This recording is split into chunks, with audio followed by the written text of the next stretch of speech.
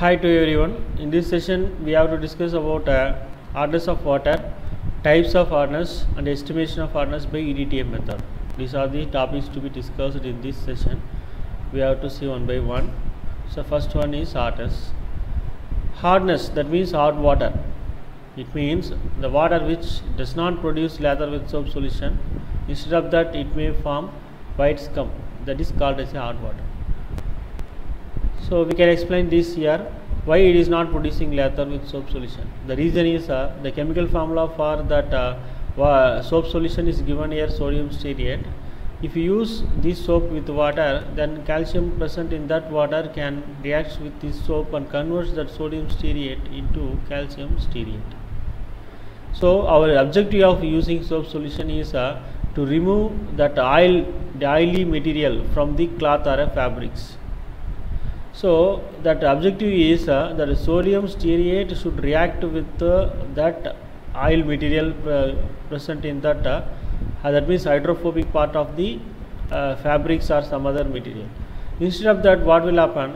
This sodium stearate reacts with the calcium 2 plus present in that water. So this purpose of sodium stearate is not occurring in, in this process. So we are adding the soap to remove the oil material that means hydrophobic part of the fabric instead of that uh, the sodium stearate reacts with the calcium ion present in that water. So it will form a calcium stearate precipitate. So it is not forming any lather or a foam. So that is the main reason why that uh, water is called as hard water. So the sulfates and chlorides and bicarbonates of calcium magnesium are the reason for this hardness this presence of the salts gives hardness to that water. So this water gives wine red color with the eriochrome black indicator at pH 9 to 10. Next types of hardness. So hardness can be expressed into two types. One is temporary hardness because of the bicarbonates present in that water. So bicarbonates of calcium magnesium are the reason for this temporary hardness. So this hardness can be removed by simple boiling. If you if you heat that calcium bicarbonate, that will be converted into calcium carbonate. Similarly, magnesium bicarbonates are also converted to magnesium hydroxides. Both of these calcium carbonate and magnesium hydroxides are water insoluble. We can remove this by simple filtration.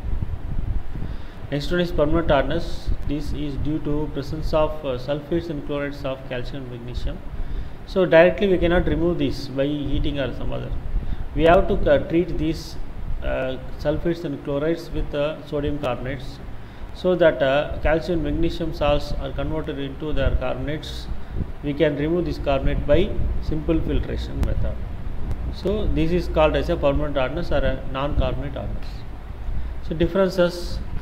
So temporary hardness is due to presence of bicarbonates of calcium magnesium and permanent hardness is due to presence of chlorides sulfates of the calcium magnesium so sometimes this temporary hardness can be called as a alkaline hardness, but permanent hardness is called as a non-alkaline hardness.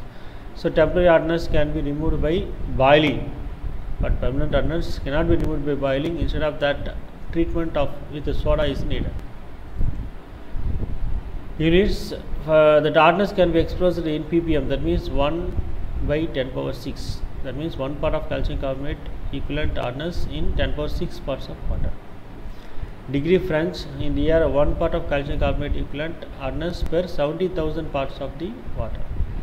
Clark's degree one part of calcium carbonate equivalent hardness per 10 power 5 parts of the water. Next disadvantage of hard water. We are using water in domestic and industrial purpose. So while domestic purpose this hard water is not suitable for washing if you wash this uh, with this water then it may produce some precipitates and uh, spots on the fabric cloth. So while bathing it will form some scum on uh, bath bathtubs and body so it is not suitable. For drinking if you take this water as a drinking water then it will produce calcium oxalate stones in our kidney or urinary tract. It is it becomes very danger to the health and then cooking if you use this water for cooking then it may change the taste of the outcome output food and sometimes it may uh, increase the fuel consumption so these are the important disadvantages of water in the case of domestic purpose. In industry we are using water to generate steams. We are using boilers. In these boilers we are adding uh, that water. That means we are feeding that water. After that we are heating that water. So while heating uh, that steam will be generated. That steam can be used for some other purpose. So here problem is if that water contains salts then that uh, consumption of uh, fuel becomes more to heat that water. Uh, next sometimes that cracks will be formed. Scale and sludge is the important disadvantages of that uh, water hot water if you use that in boiler that can be in uh, explained in uh, next uh, session. So now we have to estimate the hardness estimation of hardness that means uh, uh, that amount of calcium and magnesium salts present in the water has to be measured has to be estimated. That is the estimation of hardness for this simple principle is given here. To here we are using EDTA as a complexing agent. EDTA means uh, uh, ethylene diamine tetraacetic acid. We are using disodium salts of EDTA so we are using this EDTA with uh, hot water. This uh, EDTA will form complex with that uh, calcium and magnesium ions present in that water. So amount of EDTA consumed in this reaction is equal to amount of calcium and magnesium ions present in that water. So uh, from that uh, titration we are uh, calculating that ions that means calcium magnesium salts present in that hot water.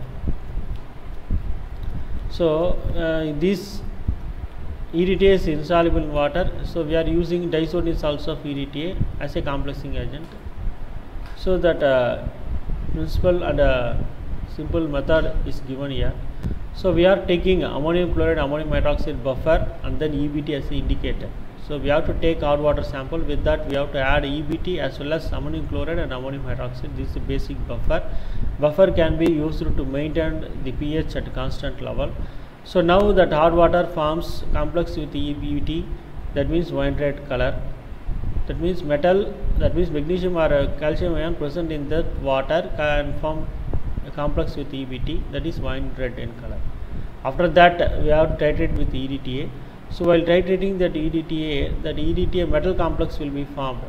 That means a metal EBT complex will be decomposed. That EBT is removed from that uh, uh, complex and this metal which is existing from here is now uh, reacting with EDTA and it will produce metal EDTA stable complex. So that EBT is blue in color. So now that uh, endpoint is color change from wine red to blue, we have to take sharp endpoint here. We have to note down the consumption of uh, EDTA in this uh, titration. This is structure of metal EDTA complex. Here that oxygen and nitrogen ions present in this uh, EDTA can form coordination bond with metals. This is called as a metal EDTA complex. So here color change is shown here. This is the metal EBT complex and this is the metal EDTA complex with free EBT. Actually metal metal EDTA is colorless. So that EBT is blue in color. So after that EBT is uh, uh, is uh, coming out from that metal EBT complex, uh, then it shows its original blue color.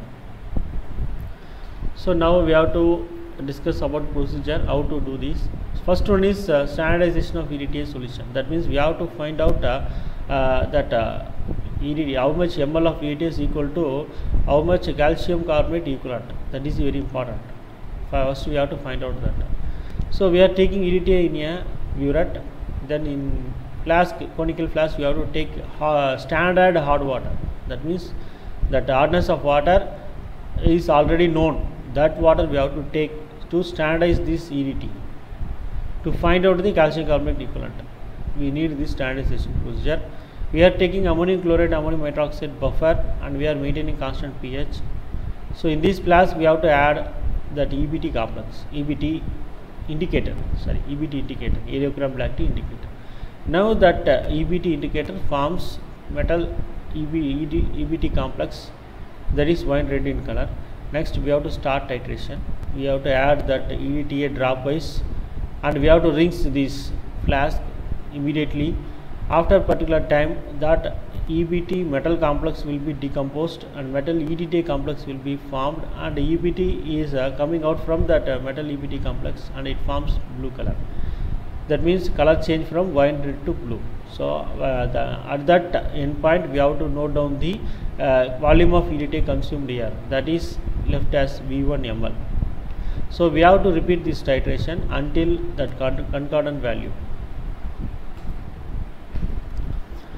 Next estimation of total hardness. So first we have to find out the both permanent and uh, temporary hardness combinedly. We have to get that. That is called as a total hardness. So here we, are, we have to take sample water in a flask. Then we have to add EBT. Now that metal EBT complex will be formed. That is wine red color. Then we have to in this we have to add a, um, that buffer also. Then only it will it will give metal EBT complex. That is wine red color complex then we have to iterate this then color changes from uh, red to blue at the end point we have to note down the volume of EDTA consumed so that uh, the volume of EDTA consumed in this titration is V2 ml next one is uh, estimation of permanent hardness to find out the permanent hardness we have to remove that uh, temporary hardness so to remove the temporary hardness uh, we have to take 25 to 250 ml of sample hot water in a flask then we have to heat that. We have to reduce that volume from 250 to 50 ml. Until that we have to boil that. So while boiling these bicarbonates are converted into carbonates then uh, magnesium bicarbonates are converted into magnesium hydroxides. And these salts are water insoluble and it will start to deposit at bottom of the that uh, flask after particular time we have to filter that. Then filtrate has to be taken for titration. So now that means that filtrate is free from temporary hardness it is having only permanent hardness that means that filtrate is now having only sulfates and chlorides only. There is no carbonates bicarbonates. So now we have to take that uh, in a conical flask. Then we have to add buffer solution that means to maintain the pH 10 after that we have to add few drops of EBT now EBT uh, metal complex will be formed that gives wine red color. Now we have to titrate with EDTA that wine red color is now converted into blue color as explained before. Now that volume of EDT air consumed in this titration is kept as V3 ml so now come for coming for calculation. So first one is uh, standardization calculation. So that already we know that 1 ml of standard hot water is equal to 1 mg of calcium carbonate. So 1 ml of uh, uh, 1 ml of EDTA is equal to, uh, 1 ml of standard hot water is equal to 1 milligram of calcium carbonate. Already we know that 1 ml of standard hot water is equal to 1 mg of calcium carbonate so for that we have to calculate 20 ml of standard hot water is equal to 20 mg of calcium carbonate equivalent.